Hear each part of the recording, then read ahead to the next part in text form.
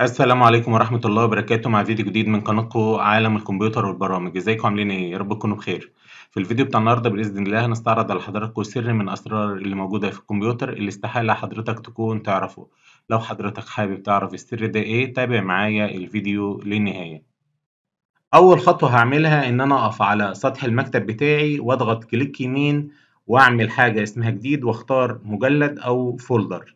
زي ما حضرتك شايف كده أنا عملت مجلد جديد تمام؟ وبعد كده أفتح ال file ده تمام؟ هاخد الكود السحري ده تمام؟ كده هظلله بالكامل زي ما حضرتك شايف. إن شاء الله هترك ليك هذا الكود في قلب صندوق الوصف بتاع الفيديو تمام؟ هاخده نسخ هنزل تحت هاجي أقف على ال folder أعمل click يمين مرة تانية وأعمل إعادة تسمية.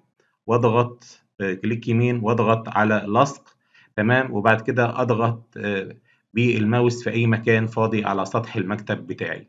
تمام كده؟ هتلاقي ال folder اتغير شكله للصورة اللي حضرتك شايفها طيب هتقول لي إيه ده؟ وإيه الفايدة منه؟ هقول لحضرتك إن ده يعتبر كنز موجود على جهاز الكمبيوتر إن أنا جمعت لك كل الاختصارات اللي موجودة على جهاز الكمبيوتر في folder واحد. لو أنا فتحته مش هتتخيل كم الاختصارات اللي موجودة فيه. بص حضرتك هنا إعدادات المايك تشغيل ميزة التعرف على الكلام تغيير إعدادات النص إلى الكلام آه، تغيير إعدادات الألوان إدارة بيانات اعتماد الويندوز إدارة بيانات اعتماد الويب إدارة شهادات الكمبيوتر زي ما حضرتك شايف كده إلغاء تقسيم الأقراص وتحسينها لو أنت حابب إن أنت تعمل آه، صيانة للأقراص لو أنا ضغطت عليها تبدأ تفتح معاك تبدأ تعمل على طول عملية تحسين لأقراص الجهاز بتاعك. يعني تبدأ تعمل عملية تحسين زي ما حضرتك شايف كده عملية تهيئة وتحسين.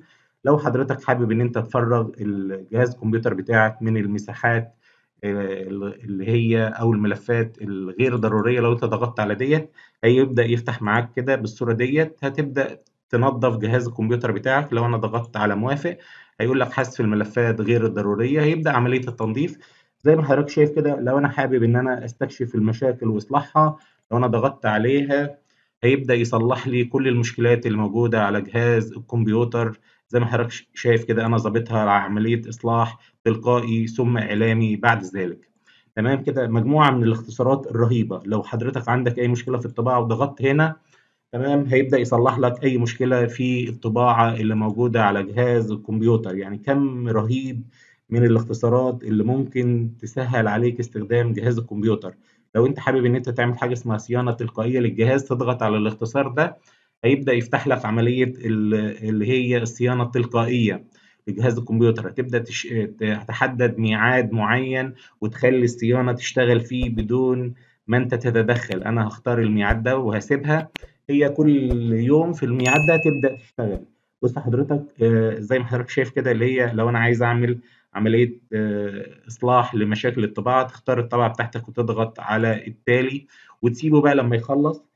هبدأ بس اوري لحضرتك كم الاختصارات. يعني هنا مثلا لو عندك مشكلة اللي هي بتاع الشاشه الزرقاء وعايز تعمل لها عملية إصلاح من هنا أي مشكلة مشاكل اللي هي الصوت مشاكل لوحة المفاتيح تسجيل الخطوط إدارة الأجهزة إضافة جهاز إعدادات متقدمة للطبعة.